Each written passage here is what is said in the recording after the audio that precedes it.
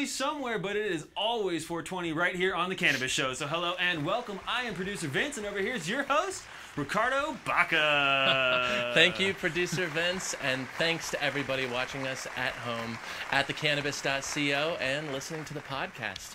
Uh, we appreciate you all tuning in. And now, you know what, Vince? What's up, Ricardo? We have so much to talk about today. We have to get to our guests that I am just going to jump right into this week's marijuana news. Let's do it. Wow, last week we were buried in weed news. I feel like this week was just a little dry. Uh, it's true, it's a little bit dry. Uh, there weren't as many massive national stories, uh, but this week did give us a major milestone for legal cannabis in America. Yeah, and it's back up in the Pacific Northwest again. Last week we were talking about Oregon, and this week we're talking about Washington, of course. Now, on July 8th, Vince, legal marijuana sales in Washington state celebrated their first birthday. And the state's pot program, it's grown so, so much in that last year. Seriously, Ricardo, I remember July 8th, 2014, when there was only one pot shop in Seattle. There was a couple of others scattered around that large state. one shop in Seattle. It seems like so long ago, but it was a year ago. And now the state has more than 160 shops, and pot tax revenues, they're soared well beyond expectations. Um, the state's overall sales haul for legal weed topped $250 million, and its marijuana taxes totaled more than $70 million.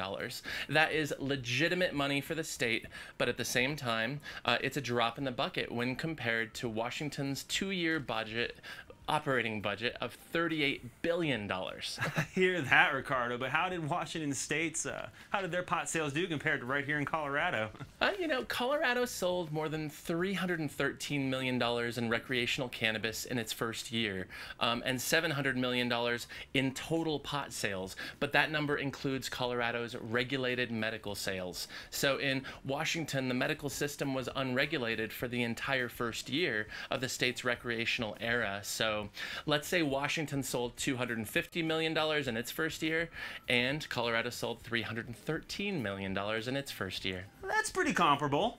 Indeed. Yeah, very comparable. Uh, and now, in other weed news, Vince, let's move along. The cannabis friendly ranch resort that captured an entire country's imagination in the last month is calling Uncle. Vince, do you remember Camp? Of course I do. We can't get away from this place. We've talked about it so much on the show. Go check it out in the last couple of episodes. It was even featured on Jimmy Fallon, Conan O'Brien. That is the one. And and after all that talk and all of those promises of 170 acres of wilderness and weed yoga and all around 420 friendliness, Camp is no more, at least not this year. Um, so after publicizing a July 1 opening date, some of Camp's organizers finally released the news that they were postponing the marijuana ranch to summer 2016. You know, I knew that it was too good to be true. What about all the people who made reservations? So, the Mary Jane Group said their partners failed to secure the ranch outside of Durango, Colorado. So now they've parted ways with those partners and they're looking for a new location to open up next summer. Uh, for those who already made reservations, the Mary Jane Group is offering them a free stay at their 420 friendly B&Bs in Denver and Colorado Springs, Silverthorne, with the hopes that they'll rebook at Camp when it finally opens next year. Um, so I had a long conversation with Joel Schneider of the Mary Jane Group, and he said he's, quote, disappointed and embarrassed. Yeah, no shit. I'd be embarrassed too if my weed ranch was all over national TV and had to postpone its opening literally at the last minute, dude. Yeah, yeah definitely. It's uh, it's not ideal. But Vince, it is time to welcome today's first guest, and he is legitimately one of the biggest names in modern marijuana reform, as he was one of the primary authors of Colorado's pot legalizing Amendment 64. Uh, he's since moved on to legalization me- measures in other states, as well as some battles right here in Denver too. Uh, it is my pleasure to welcome Mason Tvert to the Cannabist Show. Mason, how's it going? It's going well. Thank you for having me. Ah, pleasure. My pleasure. Thanks for joining us. Oh, yeah, absolutely. You have been a busy man lately. Holy hell. And I've been busy writing about it. Why don't we start by you briefly telling us about your current quest for the legal consumption of marijuana in businesses like bars and clubs in Denver? Sure. Well, uh, the backers of Amendment 64 are proposing a measure for this November's ballot here in Denver that would simply allow for the limited social use of marijuana by adults in commercial establishments that want to allow it. So, if a bar or a venue or an art gallery would like to limit its its business to adults 21 and older, or if they have an area that is restricted to adults 21 and older and not visible to the public and not visible to people under 21, they can allow adults to consume marijuana as long as it's in compliance with the Clean Indoor Air Act and you know that's really what was intended here was to let cities adopt these kinds of measures. And and tell me i mean why is this necessary? We've talked a lot about public consumption on this show uh, a lot about the absence of places that people can smoke outside of a private private residence. So i'm guessing that's the thrust behind this measure. Yeah you know for the same reason that that people who enjoy having a beer or, or a glass of wine sometimes prefer to do it in places other than in a home.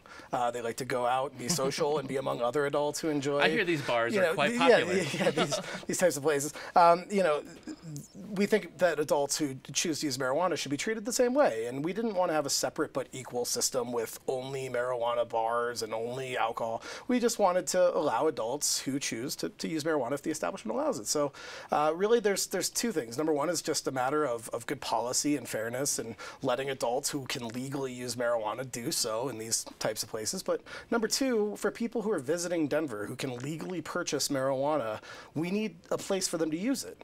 Uh, we don't want them to be using it in the park or on the street uh, or another public area, but if they can't use it in their hotel room, where are they supposed to go? And so we need to give people a, a venue where they can go and, and it will be acceptable and, and not visible to the rest of the public.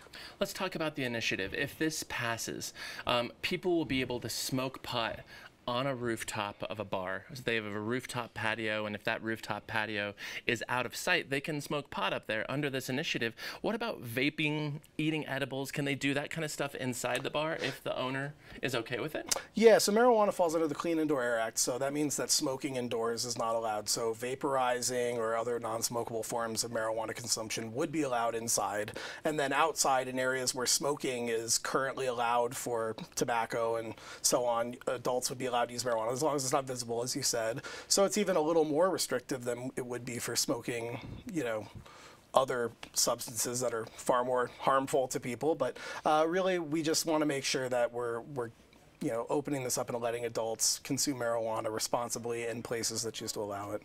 And, and and I've not thought about this until now, but where would like dabbing fall under?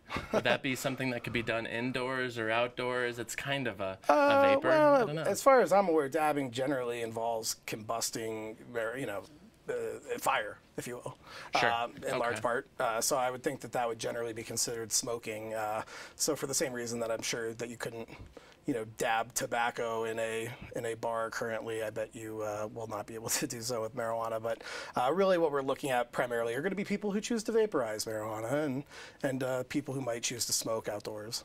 Um, you know, you were kind enough to work with us on, a, on an exclusive with the new polling data um, that you guys uh, commissioned from a reputable organization, and it showed some fascinating statistics.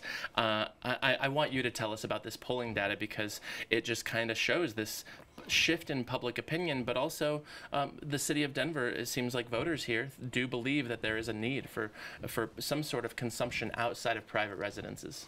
Yeah, you know, Denver voters have repeatedly said that they think marijuana should generally be treated similarly to alcohol. And so part of that would include allowing adults to use it socially in, in these types of, uh, of establishments.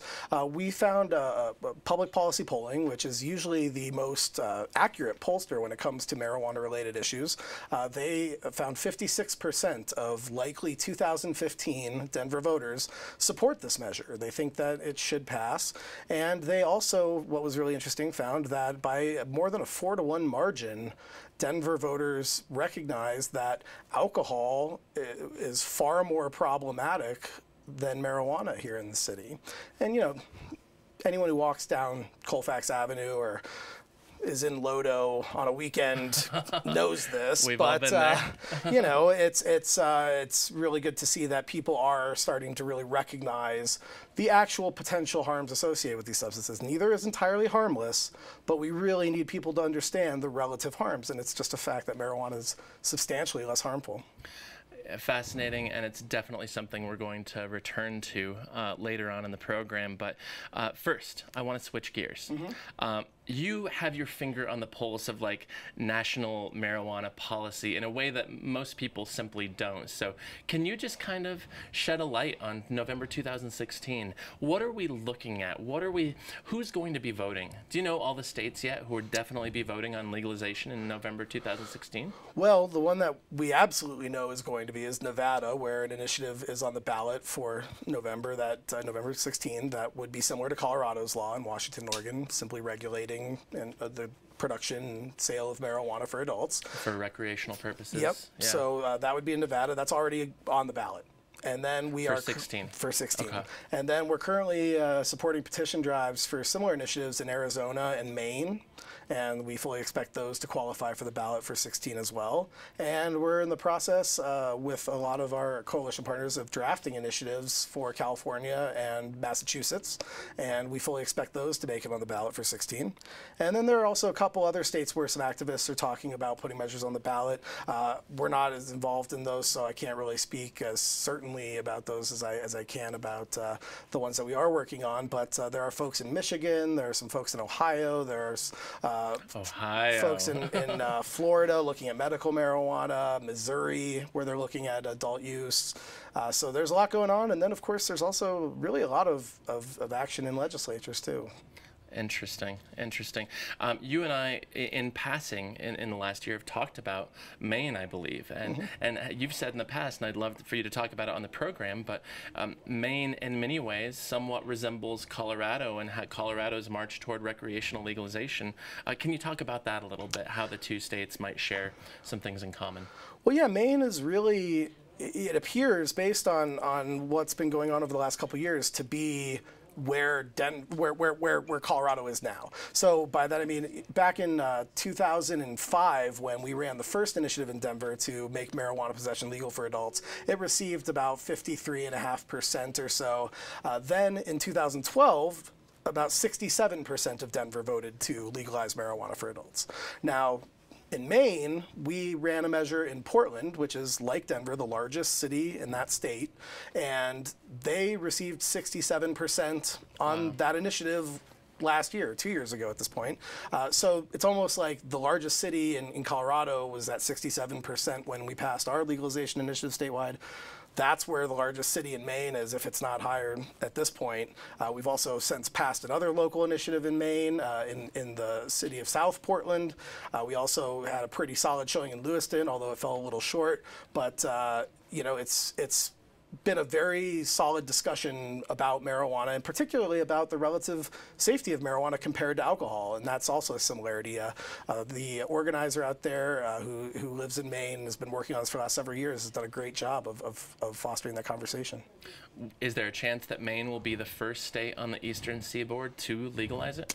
Well, it'll likely be uh, between Maine and Massachusetts if it goes till 16, but we're really pulling for Rhode Island, which could still be this year. Rhode Island's uh, measure is in the legislature. It's still on the table. They recessed, so that'll come up in the fall.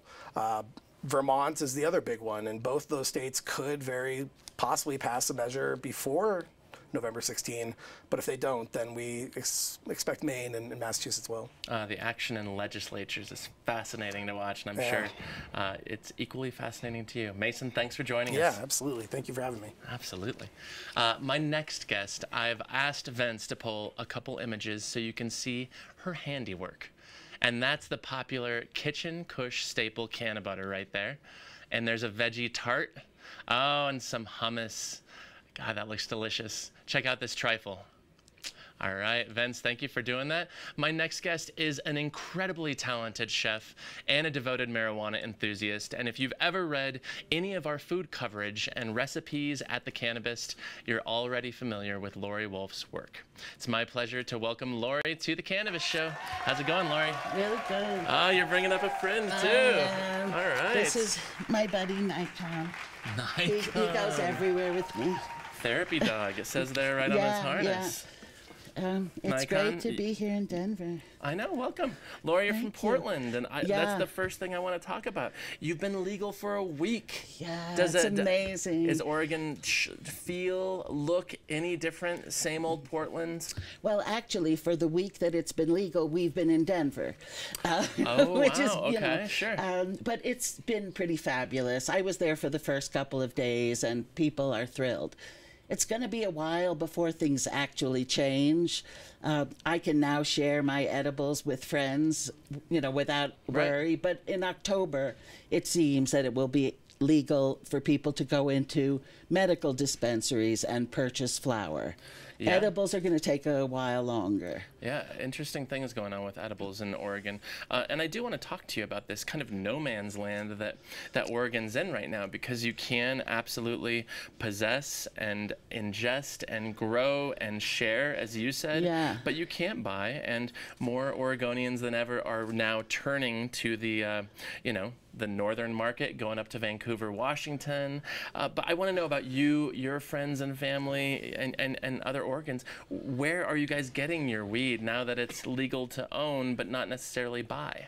Well, fortunately, marijuana, medical marijuana, has been legal for quite some time. Sure. So it, it turns out that just about everybody I talk to has a plant or two in their house. Um, so it has been relatively easy to get marijuana. And I have friends who have crossed the border, but it is still not legal federally. And, you know, as much as I love Orange is the New Black, I just didn't feel like spending any time in prison. Um, but there's superb marijuana. And, you know, I it, it hasn't been a problem for people There's to get their plenty hands. of it. Plenty, okay. Have you ever done the thing, popping over into Washington, grabbing some weed, and, and coming back? It seems like uh, many police throughout the state of Oregon are fine with it, even if it is in direct conflict with the D- Yeah. Department of Justice memo. Well, what we actually did, my business partner Mary and I went to Seattle and we purchased marijuana there Mm-hmm. and made canna oil and canna butter so that we could enter two of our products in the Seattle Dope Cup. Sure. And we won first prize and second prize. It was really awesome. Congratulations. But before that, thank you, thank you. We never, I never did um, take it over the border. Just right. a little nervous about that. I get it. I get it. Nobody wants to end up in the orange is the new black, as you yeah, said. and you know we drove here from Oregon, and huh, I like had the bags, and like, do I put them in the car? Do I not? Do I? You know, because I wanted you and you know people here to try, but I was like, no. From what I understand, Idaho, um, they're like looking for the people going through, and There has been some uh, license plate yeah, profiling uh, going on. Yeah. So we've kind of played it safe. I think that's a smart decision. Um, Yeah. and Laura, I have to tell you, every time I see that famous cookbook, uh, The Joy of Cooking, I think of you because Laura, you put so much passion into your Oh. recipes. you. Uh, you, there's videos that go along with every single recipe that you write on the Cannabist.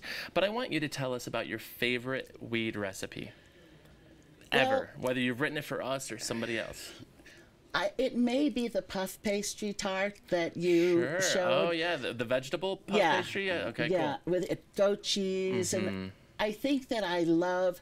Like everybody's kind of familiar with the sweet Yeah. edibles, but I love the idea of starting a meal with a medicated or infused product, so that when you get to dessert, it's kind of just starting to kick in. Right. And I like just love sitting at a table with people and they're all like, "Oh yeah." You know, I feel it now. and then when you get the dessert, it just tastes amazing. So although I love making everything, I kind of love the appetizer or d'oeuvre things. I think that makes the most sense too, because you know, as much as you know, sweets do really lend themselves to being infused with cannabis.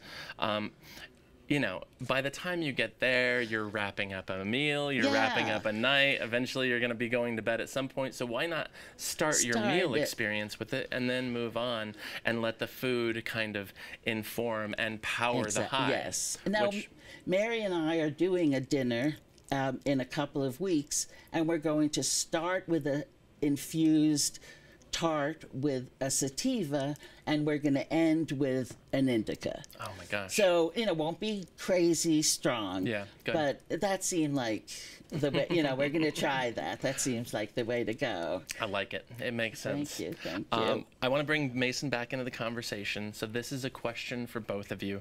Um, now we were talking about the poll earlier, and Mason mentioned that one of the findings in this poll is that people in Denver think, by a four to one margin, that marijuana causes fewer problems than alcohol.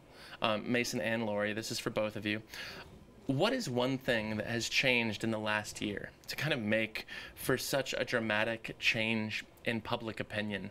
Uh, you know, that's I, I would venture to say that maybe that that statistic wouldn't exist for Denver uh, one or two years ago. So Mason, what do you think is one thing that's contributed to that switch?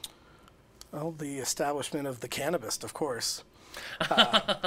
Good answer. I, I, but I, I, I do honestly believe that it has been the public dialogue that's surrounded this issue, and, and that's really, you know, driven by media coverage. And so I, you know, the more people hear about it, the more people learn about it, the more news coverage there is about it. People talk to each other, and they start to hear that, you know, this isn't the crazy dangerous substance that you were told it is. It's actually less harmful than alcohol, and they start to recognize it. And that's really what it takes is, is hearing from people you know who you trust, mm-hmm. s- explaining, you know, listen, this isn't this crazy, you know, like addictive psycho killer stuff you've heard Reefer about. You know, it's it's it certainly has its potential for some harm, especially for certain people, but in large part it is far far less harmful than alcohol and and people are starting to recognize that. And that's one thing I've long attributed to you, Mason, because you were one of the first people I met when I got this job a couple years ago, and, and I asked you some form of that question at the time. And, and when you said that it's just simple conversation around dinner tables and around the television, and, and that simple conversation is what's changing um, people's perception and, and the overall acceptance of marijuana, um, it kind of latched onto my brain in a way that I was like, oh, you're exactly right. It's that simple. It's not some crazy complex thing. It really comes down to a conversation between siblings or a son and his father around a dinner table or a fireplace or something. Laurie, what's what's what's your take on this? One thing that's happened in the last year that has helped kind of switch public opinion. Sanjay Gupta. There you go. You know, I Sure. think that people recognizing that marijuana is natural, that it grows in the ground, and that it has important medical properties that really I like for me I have a seizure disorder and once I started using cannabis it's gone like it has completely managed my health issue and I know a lot of people who are getting huge relief Sure. and not having to deal with the side effects of strong pharmaceuticals. Um, I think that that people are starting to think of it, and as the country goes, kind of in a more natural way and focus. I think that people are thinking that this would be preferable to having to deal with the issues, you know, the the side effects Side and effects. things. Yeah. And seeing a respected doctor and journalist Yeah. on one of the largest cable Yeah. networks in, in the world, it, it has made significant impact. And it in the last certainly year, seems to, yeah. he released his third documentary, Yeah. Weed 3, and he continues to kind of, he's almost a star maker. You know, he's like anointing people. Now, in the third documentary, Sue Sisley, who's doing a bunch of uh, research on PTSD and, and cannabis, um, you know, she's now bigger than she's ever been Yeah. because of Weed 3 Yeah. interesting point of view, and, and I can't disagree with either. Um, it is time, you guys. Laurie's favorite part of the program. Oh, program. yeah. It's For- like taking me back to seventh grade. it is. It's a pop quiz. Only this time it's a little bit more fun because it's a pot quiz. Okay. Um, Laurie, we're starting with you. Oh, no. Um, okay. And ultimately, if Laurie gets the question wrong, Mason, you can steal the point. And vice versa. So, Laurie, first question to you. Uh, due to safety concerns, the city of Aurora, Colorado is considering a limit on the total number of marijuana plants in each household. If the proposal passes, how many plants could you have in a single home in Aurora? I'm guessing here two. Two. Not quite. But good guess, good guess. Thank you, thank All you. right, Mason? 12. 12. Mason has a little bit of an inside track on that, but yes, it is 12, and that is accurate. That is points for Mason. Um, Mason, next question for you. A tech company this week made international headlines when it released plans to help marijuana growers by using what emerging technology? Holy cow. Hmm. This is kind of an odd one. Yeah? Yeah. Yeah, no, I, I do not know. Any guess? Uh, Emerging. wind energy. Wind energy. Not quite. Not quite. Good guess, though. Uh, Laurie, Damn, you I have a don't thought? have a clue. All right. Little hint? Oh, no hints. no But idea. the answer is 3D printing. Ah, They're 3D printing these, um, you know, little uh, bowls and, and tops and little things that you can grow marijuana, and it's kind of open source technology. Um, it seems interesting. It made headlines. I didn't. I, we didn't put it on the Cannabist. I wasn't quite sold, but still fascinating. and that's why I didn't know it. yeah. Too kind, Mason. Too kind. All right, Laura, you're up next. City employees, including some teachers, in what recreational marijuana state were told recently that they could smoke marijuana on their own free time as long as they were not under the influence at work? So, what what recreational state is home? Alaska. No. Oh, God. No. I really suck at this. Oregon? Oregon. Oh, And how can that be? That's where I live. Oh, You haven't been reading the Oregonian, Well, I've been on the road. Yeah, true, true, true. All right, Mason, finishing out strong. Illinois recently introduced a bill that would set a blood limit on how much THC a driver could have in their system while driving. If it passes, the amount would dwarf the 5 nanograms per milliliter uh, currently used in Colorado. Do you know what the level being proposed in Illinois is? How many nanograms per milliliter of blood? We're involved in this bill, so I should. Uh oh. Is it 30? No, it's not. Laurie, for the 50? steal. 50? 50? Oh man. You wish, Laurie. You wish it was 50 nanograms per milliliter. You'd be moving to Chicago. I would. It is 15. 15 nanograms. okay. Uh, controversial out in Illinois, but it's interesting because a lot of people are starting to recognize that the 5 nanogram per milliliter limit in Colorado and Washington is an Yeah. imperfect number. Mason, your thoughts on 5 nanograms? Oh, well, you know, yeah, five nanograms. There are far too many people who are found to not be impaired who, who might have five nanograms in their system. So it's, it's clearly an unfair system. We need to have laws that ensure only people who are actually impaired are being punished. So, Right. Yeah. But that's actually an, an element of the decriminalization bill, I believe, uh, that's tied to the decriminalization bill that's currently on Governor Rauner's desk out there in Illinois. So- Absolutely, it is, yeah. Yeah, which is the far more fun and exciting part of that law.